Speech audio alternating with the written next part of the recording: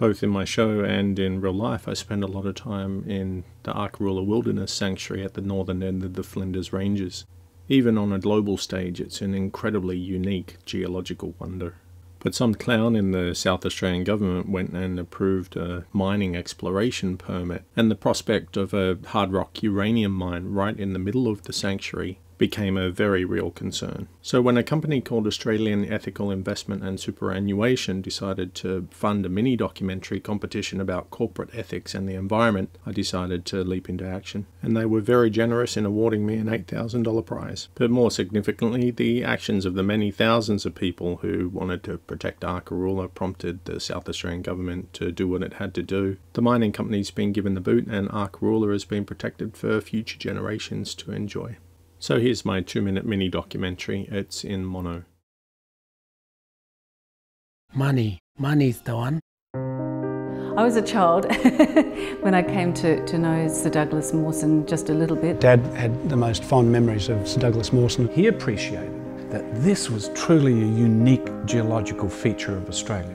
Mawson loved Arkaroola. Sir Douglas said if you can ever do anything to protect Arkaroola for posterity, then do it. Dad made it a bit of a challenge to try and get the government to take it up as a national park and uh, eventually someone in government circles said if you feel so strongly about it do it yourself and that's basically what happened. You can feel it on your feet on Mount Gee.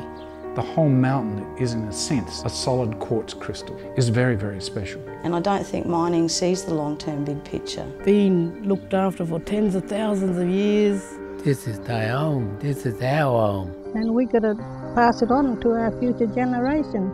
It's kind of like allowing a, our country to be exploited or raped even. This state is really at the forefront of exploration and we don't have to go and mine the jewels. That's where they buried 22,800 bags of radioactive waste that they blatantly disregarded their environmental requirements. It was a crystal form of fluorite that is virtually unknown. Whoever looted that has taken away from us the ability to actually learn more about growing those crystals probably a billion years ago. I'd be pretty disappointed with a company that didn't bother to tell me that they were in an area of Class A environmental zone and what that means, and also not to tell them that it's a particularly mountainous country, which makes it inordinately more difficult to mine. With seeking a balance, it just throws out all the safeguards as far as we're concerned.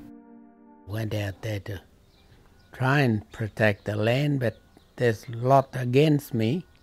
I think it's all about now and, and getting rich. You know, if I got 10 million or something, I suppose I'd be the same. Maybe. But I doubt it whether I would.